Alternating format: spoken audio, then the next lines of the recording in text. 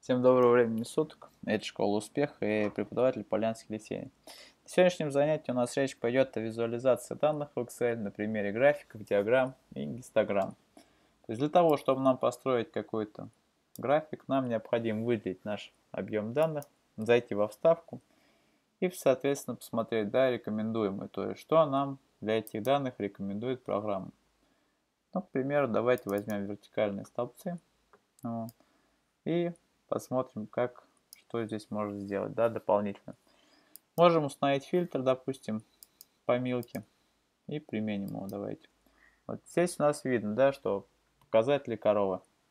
То есть в пятницу, да, в четверг, в среду, во вторник и в понедельник. Ну и давайте вернем все фильтры. С фильтрами мы уже работаем. Затем, что мы еще можем да, сделать? Мы можем применить стиль графику задать. Ну, допустим, давайте зададим такой.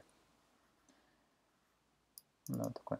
Вот, то есть затем опять выделяем наш график и заходим, да, устанавливаем дополнительные какие-то параметры. То есть название оси. Здесь мы можем подписать, да, то есть название оси. День недели. Вот. Это будет количество литров, да. Тут стираем и пишем. Там, допустим, количество, да, литров. Вот. И, соответственно, название, да, оси внизу. То есть это дни недели. То есть пишем, да, соответственно, дни недели. Вот.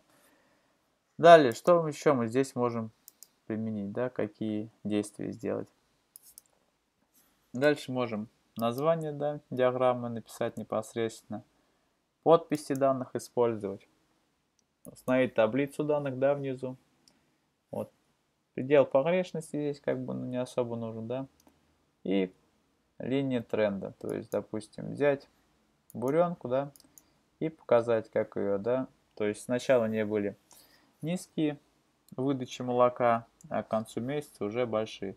То есть здесь можно, да, уже более точно подогнать наши данные. То есть, ну не везде, да, можно использовать вертикальные графики. Допустим, здесь мы будем сейчас использовать горизонтальный график. Опять заходим во вставку, заходим в Инстаграммы и выбираем, пример такой. То есть здесь что нам нужно как бы добавить? Какие данные здесь мы могли бы да, подчеркнуть из него? То есть давайте увеличим его чуть-чуть. Здесь можно добавить, да, допустим, подписи данных. То есть сразу, да, сразу все становится понятно. Вот. И также можем, да, применить какой-нибудь стиль. Например, давайте возьмем такой. Вот. И, соответственно, установить фильтры. Допустим, давайте сделаем по арбузу. Вот, и применим его.